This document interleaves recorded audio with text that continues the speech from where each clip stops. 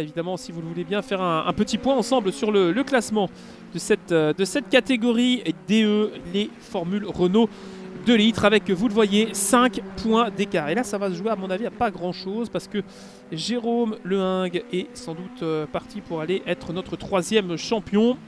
Alors après David Lespèce, après Logan Joyeux, peut-être Jérôme pour euh, ajouter euh, eh bien, un nouveau nom au palmarès de cette Coupe de France des circuits virtuels 2017. 135 points, c'est le nombre de points que David Lespèce a dans son escarcelle avec, euh, vous le voyez, 5 petits points d'écart. Et ensuite, eh bien, le gouffre avec euh, David de la Salle, très proche d'Emeric Pierretti, qui on l'espère aura un peu plus de chance pour cette troisième course, devant David Châtaignier, Pierre Clossé, toujours absent, Stéphane Bossard, Pierre-Julien Loton, Gilles Châtelain et Emmanuel Grossin. Voilà donc pour le top 10 pour l'instant.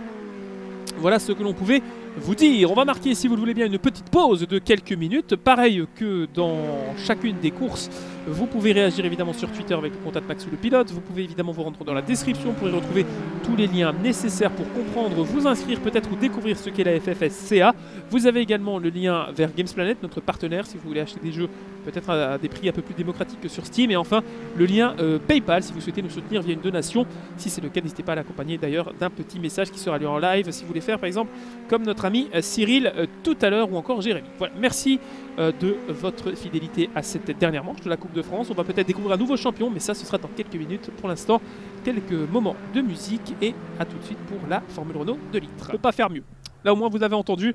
Et on va découvrir si vous le voulez bien les, premières images de cette grille de départ qui est composée de 16 pilotes avec euh, les voitures qui sont en train de toutes venir se présenter sur la grille. Il en manque encore quelques-unes, bien sûr, mais ne vous inquiétez pas, elles vont arriver. Voilà, c'était Ludovic Furwick qui n'était pas encore revenu à son emplacement. La grille étant complétée, on va pouvoir euh, dans quelques instants s'intéresser à la grille de départ de cette euh, cinquième course de la soirée. Il y aura évidemment ensuite la procédure de départ. Voilà, c'est parti, on roule du côté de Dijon avec pour l'instant pas d'absent, tout le monde a pu rejoindre la grille également. Les 16 pilotes sont là, pas de pilote depuis la pit lane pour cette euh, quatrième course. Alors effectivement, si vous ne nous avez jamais suivi, que c'est votre première fois ce soir, attendez-vous au pronostic à avoir un duel entre Jérôme Lehing et David Lespèce. Alors on va passer en revue, si vous voulez bien, la grille de cette catégorie DE, la Clio, la, non pas la Clio pardon, la Formule de litre avec, voyez, Jérôme Lehing qui ne participe qu'à cette compétition et qu'à cette discipline avec euh, son fameux setup magique hein, qu'il avait déjà évoqué depuis le début de la saison avec, vous le voyez, donc la pole position pour Jérôme devant David Lespèce, Ludovic Ferruy sera troisième aux côtés d'Emeric Pierretti, Olivier Mardoc sera cinquième aux côtés d'Emmanuel Grossin, David Châtaignier septième aux côtés de Gilles Châtelain, huitième, Didier Galéa, pardon, sera euh, neuvième.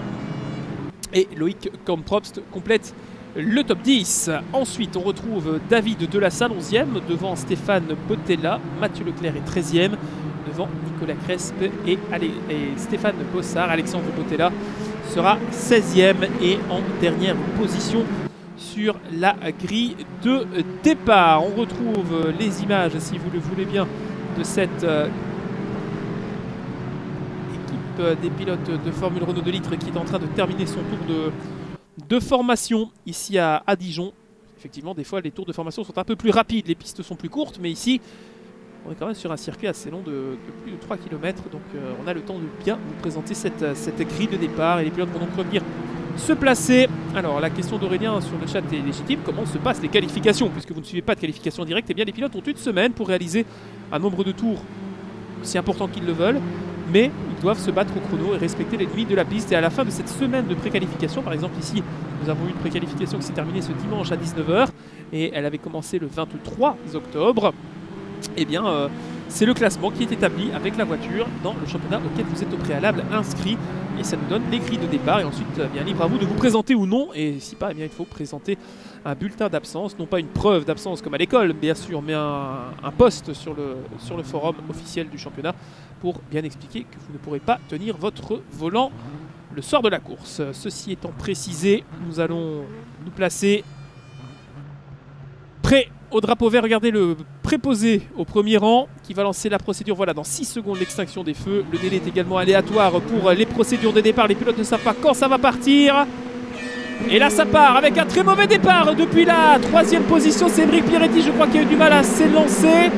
Et on est parti avec un envol correct pour le moment de Jérôme Lehag qui va virer en tête. Jérôme Loin qui vire en tête. Derrière, c'est un petit peu plus la foire d'empoigne avec euh, Olivier Mardoc. Eh bien, ça passe sans grosse difficulté. Alexandre Botella qui était un petit peu au large. Attention parce que derrière c'est chaud à 2-2 francs avec Olivier Mardoc et euh, Emmanuel Grossin. Alors attendez parce que là, hop, voilà, on va retrouver la bonne caméra, désolé. On est avec Gilles Châtelain maintenant.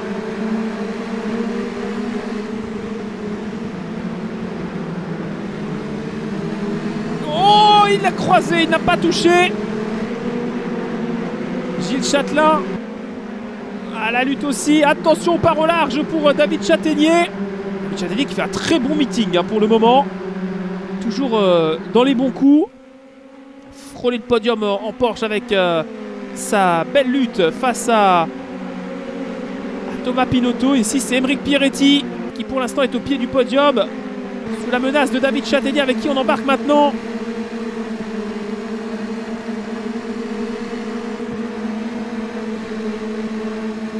L'aspiration peut-être pour euh, aller chercher la quatrième position.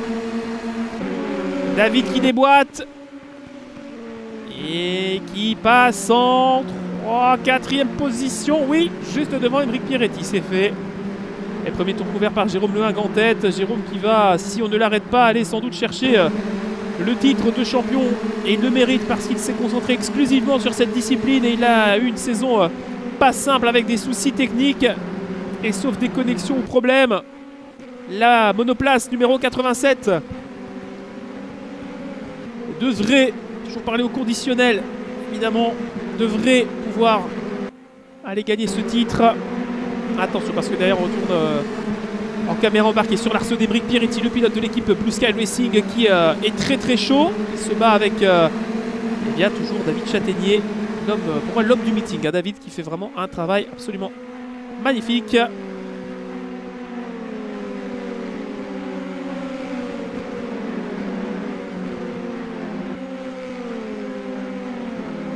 Cédric Pierretti pourrait sauver sa soirée. Attention au changement de ligne, c'est toujours quelque chose de très délicat à gérer. Emmerich qui déboîte.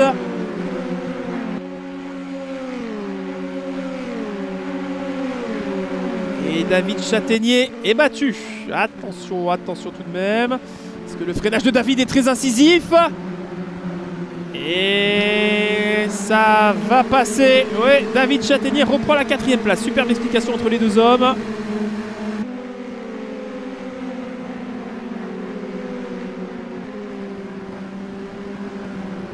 Attention parce que Emmanuel Grossin était un petit peu gêné. Ça sort large pour Pierretti. Là, c'est Emeric Piretti qui est plus maintenant le chasseur que le chassé. Emmanuel Grossin pourrait venir se mêler à la, lutte. Oh, des sorties très larges pour Ludovic Ferruy. Ludovic Ferruy qui est parti très très large. Ça va sans trop de conséquences. Heureusement, il conserve sa troisième place devant Jérôme qui déroule. Il est en séance d'essai, Jérôme, là. Il fait euh, peut-être le meilleur tour là sur ce coup-là. On va voir euh, au passage de la ligne. Mais ça ne m'étonnerait pas qu'on a un nouveau record du tour en course. Maintenant que ça ne soit pas le cas. Alors avec Olivier Mardoc 7ème. Il y a un top 5 au bout de la ligne droite. Et un pied de podium à jouer.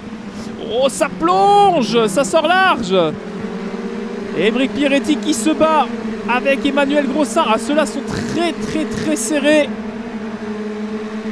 en piste.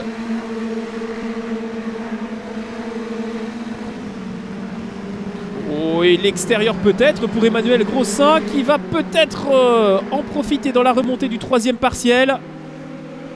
Le freinage maintenant pour Émeric Pierretti qui joue le pied de podium bien entendu. Emmanuel Grossin à l'extérieur ne peut rien faire face à la remontée d'Olivier Mardoc qui est plus à même de relancer sa machine sur l'extérieur. On retourne en caméra embarquée avec Olivier qui, euh, pour le moment, euh, parvient à se défendre plus que deux mesures. Mais euh, il manque un petit quelque chose à Olivier Mardoc pour aller se mêler à la bagarre pour le podium qui, pour l'instant, reste entre les mains de Ludovic Ferruy. Mais il s'est fait une petite frayeur. Alors que derrière, il y a de l'explication également. Il reste encore 10 minutes dans cette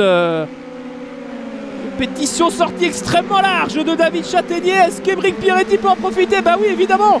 Il a la meilleure relance et il va aller chercher provisoirement peut-être le pied de podium. Mais non, ce n'est pas possible. David Châtaignier qui arrive à avoir malgré l'erreur, l'aspiration et conserver une chance peut-être. Emmanuel Grossin qui zigzag derrière, il plonge à l'intérieur. Emmanuel peut-être pour la cinquième position. Mais ça ne peut pas le faire. Pas encore en tout cas. Si, c'est fait. J'ai été mauvaise langue sur ce coup-là. Oh, attention, David Châtaignier qui est plus que généreux avec les limites de cette piste de Dijon. Et là, sur les freins. Ah, il plonge, il y va Oh, il est allé euh, au chausse-pied prendre le meilleur, mais euh, c'est Olivier Mardoc qui va prendre peut-être deux positions en virage. Attention, voiture sortie au large. Derrière, c'est Didier Galéa qui euh, tentait également de profiter de la petite erreur. Côte à côte, c'est magnifique avec David Châtaignier qui se bat pour le top 5. C'est Olivier Mardoc qui peut-être est en train d'aller chercher la bonne opération. Au championnat également, ces deux-là ne doivent pas perdre le moindre point. On joue très très gros pour euh, les accessites et le top 10 général. Entre ces deux-là. Oh, et le tête à queue de David Châtaignier qui traverse la piste et l'accrochage évidemment avec Didier Galéa qui s'en sort bien. Il aurait pu euh, subir des dégâts. Et c'est la foire d'empoigne également pour la dixième position. On avait oublié cette bagarre avec Loïc Comprobst. Alexandre Botella et Stéphane Bossard. Ces trois-là sont également très très proches. Et nous ne sommes pas encore au cap de la mi-course. Attention, l'attaque à l'intérieur peut-être, ça zigzag beaucoup, de nombreux changements de ligne. On rappelle que le règlement n'autorise pas plus de deux. Stéphane Bossard sur les freins peut-être pour prendre la neuvième position. Oh, c'est chaud Et on se ravise évidemment, on ne va pas prendre de risques inutiles devant. Côte à côte, toujours David de la Salle. Oh, ils vont se toucher avec Gilles Châtelain. Ah, évidemment, si vous laissez Gilles euh, ouvrir une porte, il va y aller. Oh, et le contact entre les deux monoplaces. Et il continue, Gilles qui va pousser dans la boîte de vitesse de son adversaire. Et Didier Galéa, coucou, qui passe par là. Merci beaucoup pour la position. Et qui se fait repasser Oh là là, qu'est-ce qui s'en passe? Mais qu'est-ce qui s'en passe? Dans le top 10.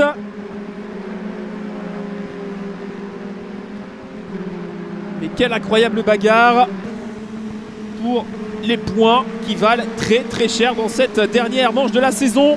La finale à Dijon qui a déjà vu ce, soir euh, deux pilotes couronnés, David Lespès et Logan Joyeux. Et pour l'instant, Jérôme Lehag est en train d'aller chercher avec autorité son titre de champion de France. S'il parvient à mener sa Formule Renault de litre jusqu'à l'abaissement du drapeau à damier, alors que Loïc Camprobst est à l'attaque à son tour.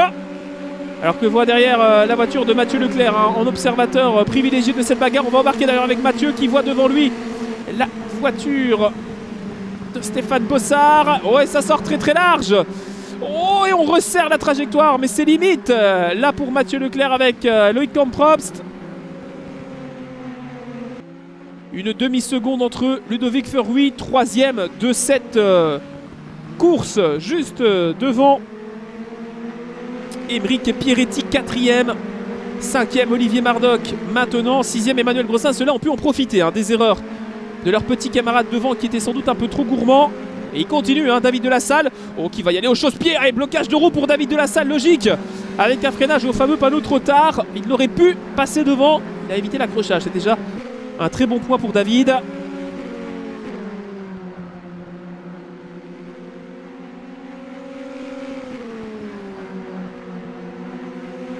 Et on a vu tout au long de cette saison l'écart entre les pilotes euh, s'amenuire avec euh, l'affinement des réglages. Et là, on est vraiment, je pense, c'est ce qu'on peut avoir de mieux en piste. Oh, ils se sont touchés, je crois. Je crois que David est allé pousser. Ouais, il le pousse David qui le pousse Il va aller se mettre dans le rail si ça continue Attention La voiture devant de Gilles Châtelain qui résiste. Mais quel duel musclé Et ça va finir euh, évidemment dehors. Mais c'est incroyable le grip de cette Formule Renault Incroyable, les deux pilotes qui se sont donnés de véritables coups de roue au passage de la ligne et des coups d'aileron. Assez incroyable.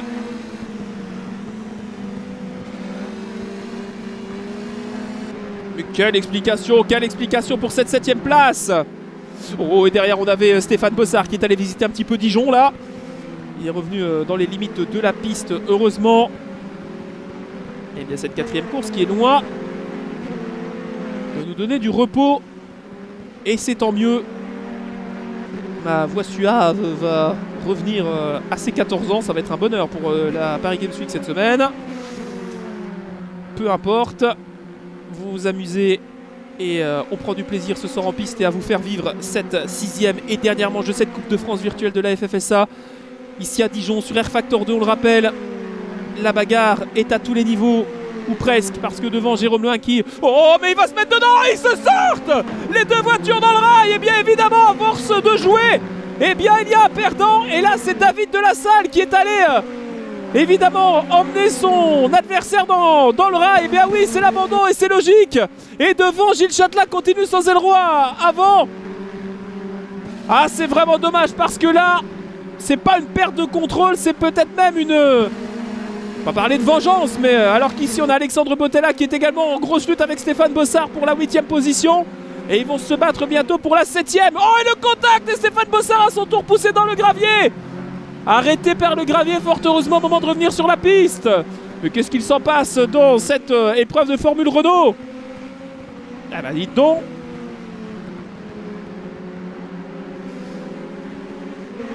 Carton jaune, carton jaune pour euh, David de la salle, mais euh, alors après, il y a peut-être eu litige, évidemment.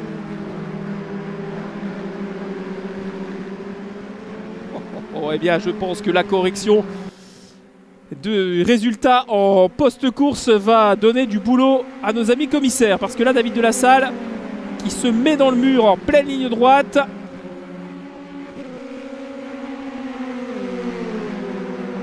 Ça n'annonce que, que des soucis. David Châtaignier à la bagarre à son tour. À l'aspiration.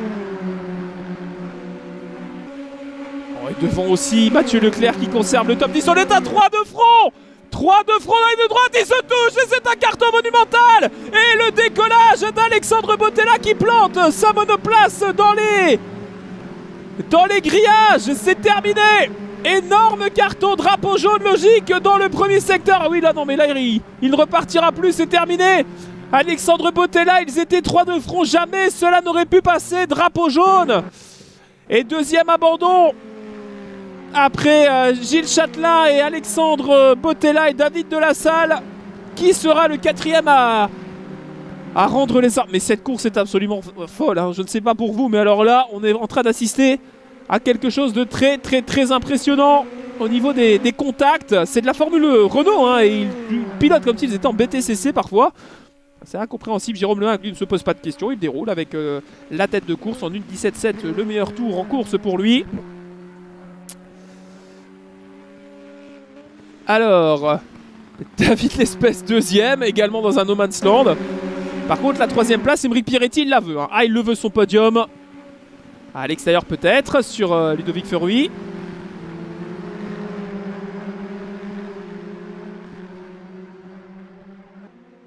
Ah, c'est vrai que effectivement l'Eurocup en Formule Renault ils sont parfois aussi violents hein, au niveau des, des rails. Ça reste des jeunes, hein, que voulez-vous Alors, Emmanuel Grossin avec Olivier Mardoc pour le top 5. Et ces quatre-là sont en lice pour un podium. Après, il reste une minute. Donc on est sans doute dans l'avant-dernier tour de cette quatrième course de la soirée qui aura tenu toutes ses promesses.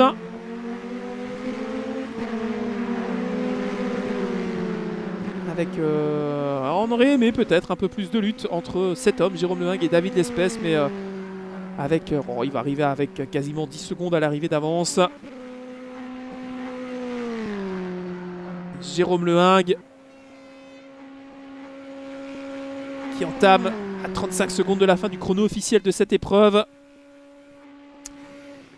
La dernière boucle de ce circuit de Dijon pour lui, la seule course à laquelle il participe ce soir. Ce sera sans doute la bonne. Attention parce qu'Emmanuel Grossin est à la bagarre sur euh, peut-être euh, la monoplace d'Olivier Mardoc. Les deux coéquipiers qui se sont battus en Porsche déjà tout à l'heure, qui maintenant s'expliquent en Formule Renault.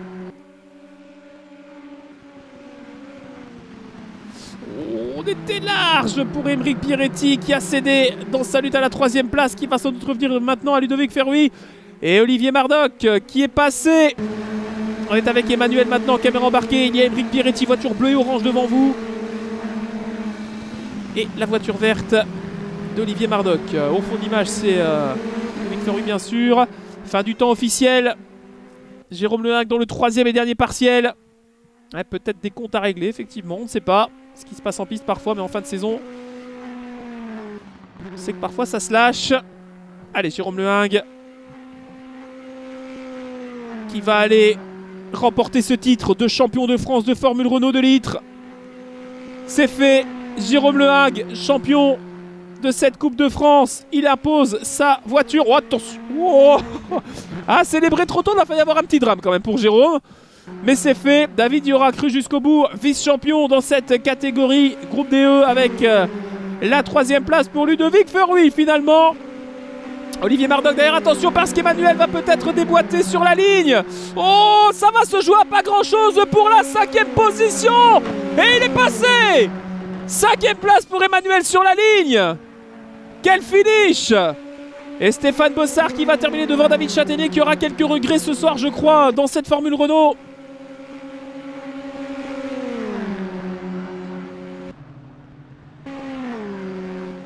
Mathieu Leclerc 9ème et le top 10 complété par Didier Galéa, Nicolas Crespe qui suit, Loïc Camprops 12ème, Stéphane Botella 13ème. Voilà pour les pilotes classés. Et nous avons donc Jérôme Lehingue, champion de France de cette euh, coupe virtuelle. Superbe résultat.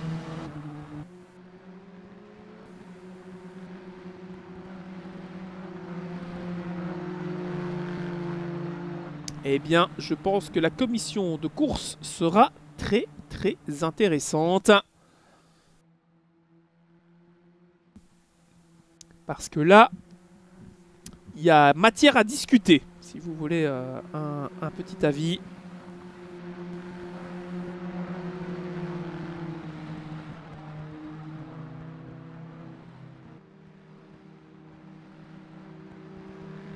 L'arrivée a été euh, assez euh, clair du côté de Jérôme Lehingue qui va donc imposer sa voiture avec 8 euh, secondes d'avance sur son adversaire. On va aller voir, euh, si vous le voulez bien, euh, l'écart en cinquième position qui avait été extrêmement serré entre les deux pilotes. On va se renseigner à ce sujet-là. Effectivement, il y avait un écart de 2 centièmes de seconde à l'avantage d'Emmanuel Grossin face à Émeric Pierretti. Donc Émeric Pierretti a perdu la, la cinquième place pour 2 centièmes de seconde c'est toujours rageant. Et surtout, il perd les points qui allaient, euh, qui allaient avec. Alors, on va retrouver, si vous le voulez bien, d'ici euh, quelques instants, à l'interview, notre ami Jérôme, si on peut l'entendre. J'espère qu'il a au moins euh, le micro prêt. Notre camarade Jérôme, que l'on va chercher évidemment pour l'amener dans notre cabine. Est-ce que tu m'entends? Bonsoir Jérôme. Bonsoir Maxou. Alors une euh, seule et unique euh, compétition pour toi dans cette Coupe de France, la Formule Renault dominée de la tête et des épaules malgré de grosses frayeurs suite à des soucis techniques et un petit manque de chance en début de saison. Tu as archi dominé cette série. Victoire aujourd'hui pour 8 secondes. Raconte-nous comment tu as vécu cette course et cette obtention du titre puisque tu es, je le rappelle, champion désormais de cette Formule Renault de litre. Ouais, c'est un titre. Euh, ce qu'il faut savoir, c'est que euh, bon, ça fait 15 ans que je fais du, sim racing. En passant par GTR1, GTR2, R Factor 1, euh, Race Room, enfin bref, tout un tas de choses. Et R Factor 2, ça fait depuis début de cette année que, je joue dessus. Et là, je suis content. Ça veut dire que la première année, premier titre, c'est plutôt, plutôt cool, effectivement. Maintenant, la course, bon, je savais que j'avais un très gros rythme franchement, j'ai été plutôt cool pendant toute la course, quoi, sans, forcément de, pression.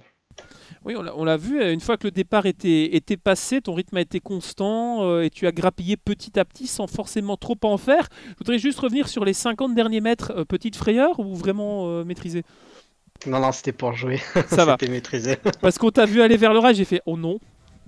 Je sais que la physique d'Air Factor 2 est parfois un peu piégeuse et euh, en tout cas c'était euh, euh, très très intéressant de voir comment tu as amené cette voiture qui était très homogène sur tous les circuits, toujours en maîtrise. On avait dit que c'était un manque de, chance mais aussi de problèmes qui étaient plus techniques avec des, accrochages parfois, des, pièces qui traînaient sur la piste. En tout cas ça a été, ça a été compliqué mais finalement au, décompte final tu, tu, as le titre. Est-ce que ça peut te donner envie maintenant que tu me dis que voilà ça fait un an que tu es sur Air Factor 2 Est-ce que ça peut peut-être t'amener à participer au, championnat dans le futur avec plusieurs voitures ou est-ce que tu vas te concentrer toujours sur cette monoplace?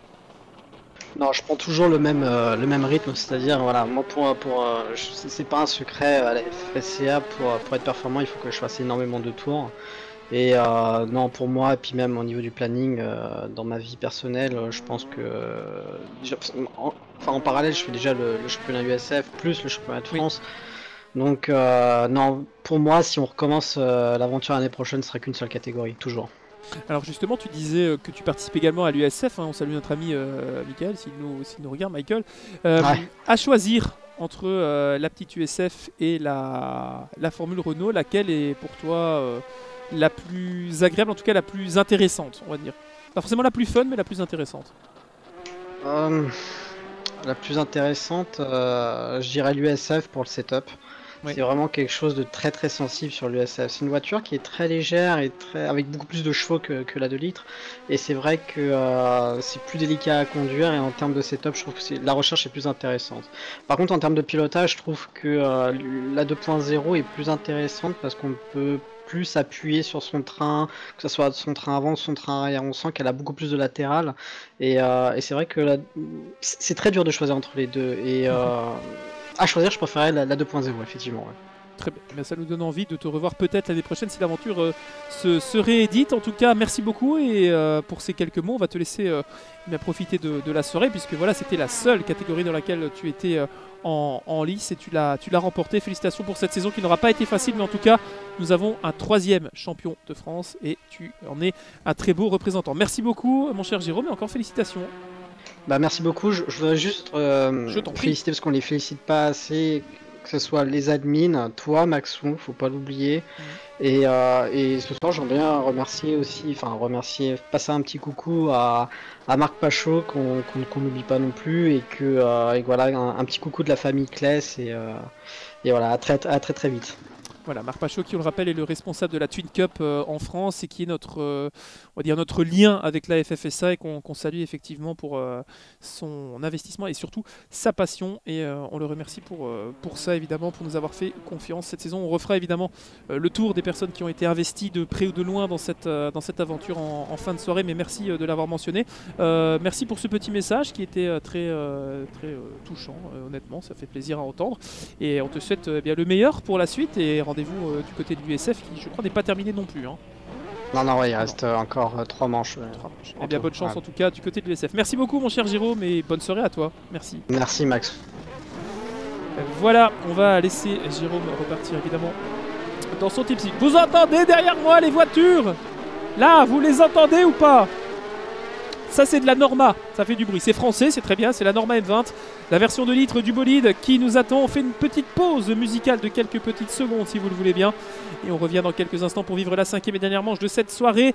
Restez attentifs, évidemment. Vous pouvez vous rendre évidemment dans la description pour y trouver des liens utiles si vous souhaitez vous aussi découvrir ce qu'est la FFSA et la FFSCA. Et bien entendu, vous avez d'autres possibilités, comme par exemple Games.net qui propose de superbes euh, promotions sur certains jeux. En ce moment, je crois qu'il y a une grosse promo sur tout ce qui est euh, jeu de, stratégie, plutôt sympa. Et euh, évidemment, le lien qui est disponible pour les donations. Si vous souhaitez nous soutenir via un don PayPal, vous pouvez accompagner votre donation, quel qu'en soit le montant, par un petit message qui sera lu en live. Merci pour votre présence et votre fidélité. Vous êtes très nombreux ce soir à nous suivre malgré l'horaire qui n'est pas idéal en ce lundi soir. On se retrouve dans quelques minutes pour la dernière course de la soirée, les Normas. A tout de suite.